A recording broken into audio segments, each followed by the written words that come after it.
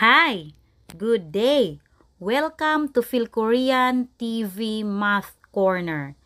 In this video, we will tackle using divisibility rules for 2, 5, and 10 to find common factors.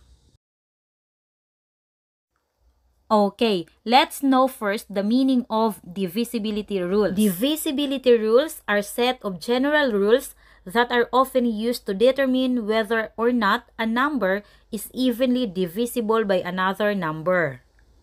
Ang divisibility rules, ito yung rules na ginagamit para ma-check natin kung ang isang number ay pwedeng ma-divide ng isa pang number na eksakto yung answer, walang remainder, kahit hindi tayo mag- solve.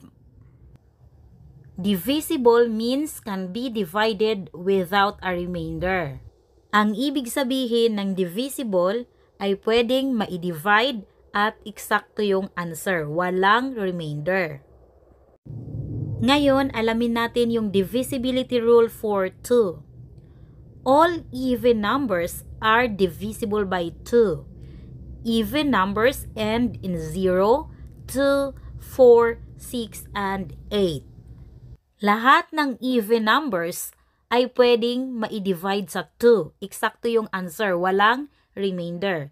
Kapag sinabi naman nating even numbers, ito yung mga numbers na nagtatapos sa 0, 2, 4, 6, at 8. Malalaman natin kaagad kung ang isang number ay divisible by 2 o hindi sa pamamagitan ng pagtingin lamang sa kanyang last digit o yung numero na nasa ones place. Examples, 154, 90, 72, 238, and 16. Okay, tingnan ninyo yung last digit ng bawat number. Ayan. So, yan lang ang titingnan ninyo. Kapag ang number ay nagtatapos sa 0, 2, 4, 6, at 8, yan ay even number at yan ay divisible by 2. At kapag ang number ay hindi even number, syempre, hindi rin siya divisible by 2. Ngayon, alamin naman natin ang divisibility rule for 5. A number is divisible by 5 if the last digit of the number is 0 or 5 masasabi natin na ang isang number ay divisible by 5 kapag ang last digit o yung last na numero ay 0 o 5. Examples, 75, 40, 310, and 125. Ang mga ito ay divisible by 5 kasi yung last digit nila ay 0 o kaya naman ay 5. Yan lang yung tatandaan ninyo lagi. Titingnan lang ninyo yung last digit. Kapag nagtatapos sa 0 o kaya 5, automatic divisible by 5 ang number na yan, kahit gaano pa yan kalaki. At kapag ang number ay hindi nagtatapos sa 5 o sa 0, syempre hindi rin siya divisible by 5. Okay, alamin naman natin ang divisibility rule for 10. A number is divisible by 10 if the last digit is 0. Ang isang number ay divisible by 10 kapag ito ay nagtatapos sa 0. Examples, 60, 230, 710, and 590. Ang mga ito ay nagtatapos sa 0. Kaya, divisible ito ng 10. At tandaan, kapag ang number ay hindi nagtatapos sa 0, syempre, hindi rin siya divisible by 10. Okay, ngayon naman gamitin natin yung divisibility rules for 2, 5, and 10 para makuha ang common factors ng numbers. Okay, find the common factors of 30 and 50 using the divisibility rules for 2, 5, and 10. Bago natin kunin yung common factors ng 30 at 50, alamin muna natin yung kahulugan ng factor. Factor is any of the numbers used in multiplication to form a product. Kapag sinabi nating factor, ito ay number na ginagamit natin sa pag-times para makuha natin yung product. Example, 3 times 4 equals 12. Ang 12, yan ay product. Itong 3 at 4, ito yung tinatawag nating factors. 3 and 4 are factors of 12. Okay, ano naman itong sinasabing common factor? Common factor, a factor that two or more numbers have in common. Ang common factor naman na sinasabi, ito yung number na pareho factor ng dalawa o higit pang numero. Okay, ngayon, kunin natin ang common factors ng 30 at 50. I-apply din natin dito yung divisibility rules ng 2, 5, at 10.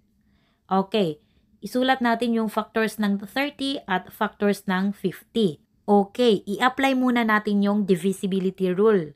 So, yung 30 nagtatapos sa 0.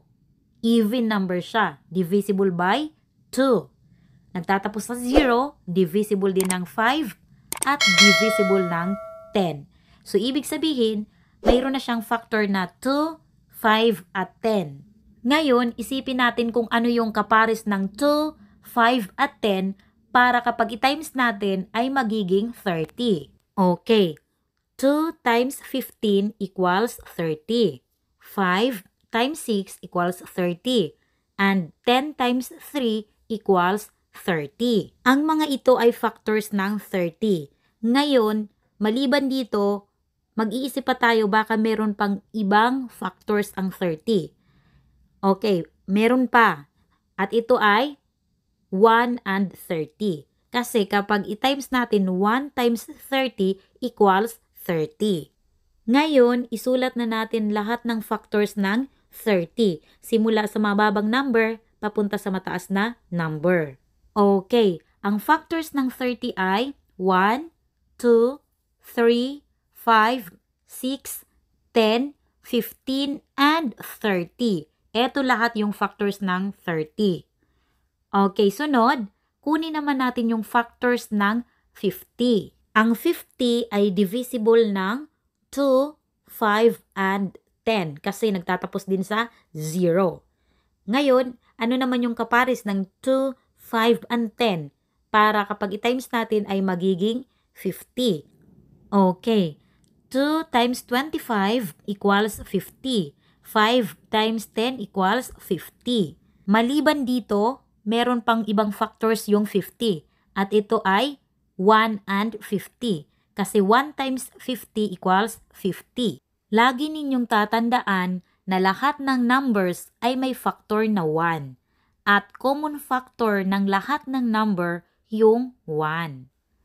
Okay, isulat na natin ang lahat ng factors ng 50. Simula sa mababang number pataas. Ang factors ng 50 ay 1, 2, 5, 10, 25, and 50. Ito lahat yung factors ng 50. Ngayon, kukunin na natin yung common factors ng 30 at 50. Titingnan lang natin yung factors na pareho meron ang 30 at 50. Okay, yung common factors ng 30 at 50 ay 1, 2, 5, and 10. Ito yung numbers na pareho factors ng 30 at 50. Ang tawag natin dito ay common factors. Next, let's find the common factors of 12 and 20. Okay, isulat natin yung factors ng 12 at factors ng 20. Okay, gamitin natin yung listing method sa pagkuha ng factors ng given numbers. Okay, isulat natin yung factors ng 12. Ang factors ng number, magsisimula tayo sa 1 kasi lahat ng numbers may factor na 1. Okay. Sunod, yung 12 ay may factor din na 2 kasi divisible by 2. Then, 3, 4, 6, at 12. Ito lahat yung factors ng 12. Sunod, kunin din natin yung factors ng 20. Ang factors ng 20 ay 1, 2, 4, 5, 10, and 20. Okay, yung 20, divisible by 2, 5, and 10 kasi nagtatapos sa 0. Okay, ito lahat yung factors ng 20.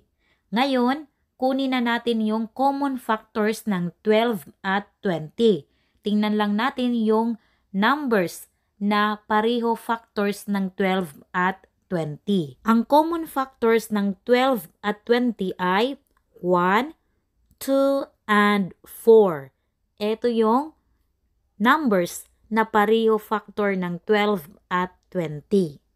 That's all for this video. Sana may natutuhan kayo sa video ito. See you next time. God bless!